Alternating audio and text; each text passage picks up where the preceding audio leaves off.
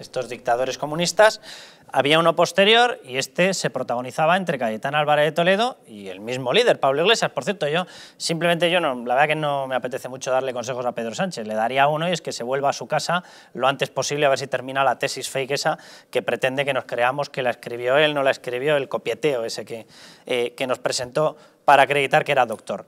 Pero, eh, señor Pedro Sánchez, vigile, porque Pablo Iglesias no es que le esté robando la merienda, es que le está robando la merienda, el coche, la comida, la cena y dentro de poco la casa.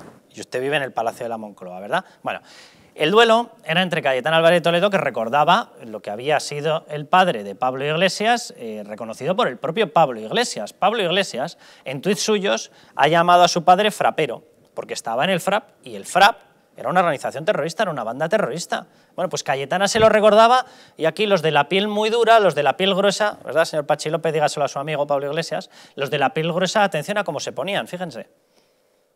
Ha hecho usted referencia a mi título de marquesa, a la clase social, a la aristocracia, una y otra vez en definitiva, ¿no? Como usted muy bien sabe, los hijos no somos responsables de nuestros padres, ni siquiera los padres somos del todo responsables de lo que vayan a ser nuestros hijos. Por eso se lo voy a decir por primera y última vez. Usted es el hijo de un terrorista. A esa aristocracia pertenece usted, a la del crimen político. Muchas gracias. Señora presidenta, señora marquesa, si piensa usted que llamando terrorista a mi padre me va a provocar y va a conseguir que pierda la compostura, se equivoca. Usted acaba de cometer un delito aquí, en esta tribuna, y solo alguien con títulos nobiliarios es capaz de creerse con la impunidad de poder llamar terrorista a alguien que le salga gratis. Por lo tanto, invitaré a mi señor padre a que ejerza las acciones oportunas.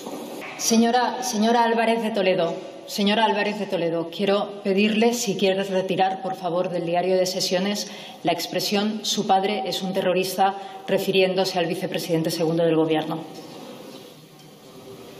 Su padre, como bien reconoce el señor Iglesias en este artículo, su militante era militante del FRAP. Gracias.